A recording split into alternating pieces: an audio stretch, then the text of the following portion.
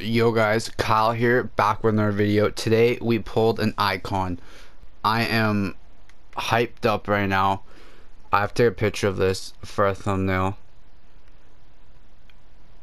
I am so hyped. I've been waiting for this forever. Well, not forever, but for the past five days. Um, that NHL 23 has been out. I've been waiting like, oh, thank you. We're gonna go through the rest of the pack first, because it is pretty early on in the pack.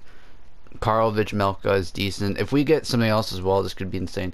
But it is neat. Like I, Lemieux or Gretzky, Lemieux or Gretzky, Lemieux or Gretzky, and then I would have myself a banger video.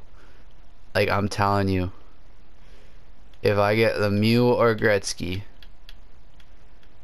This could be nuts. Come on, who is it gonna be?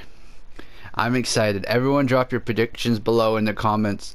If it's a stinker, it's a stinker. If it's an insane one, it's an insane one.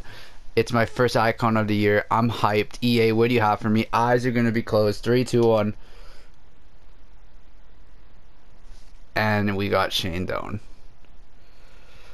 Okay. Okay, I mean, okay.